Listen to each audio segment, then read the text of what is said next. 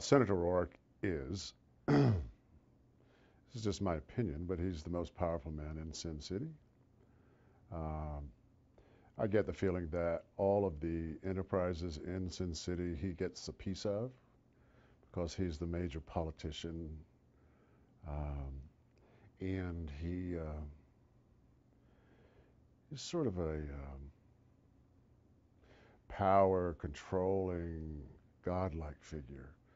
Um, fearless because he knows what strings pull what puppets uh, in this environment, particularly, but outside, so that it makes this environment his.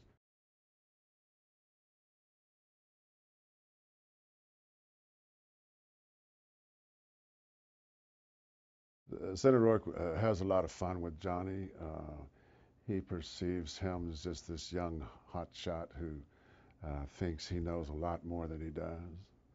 So he just sort of baits him and toys with him.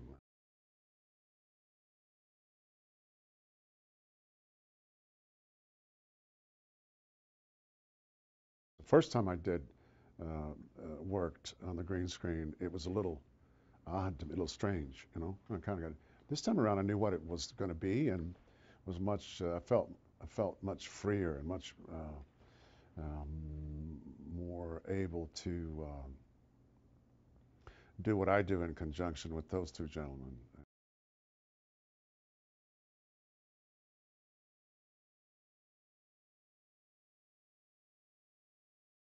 I'll never forget uh, in the opening of Sin City when the beautiful woman looked one way and turned around and it was all black and white and suddenly her lips were red. And it was like, whoa, you know, this is um, very special and very hot and uh, uh, it's going to take me somewhere that I haven't been.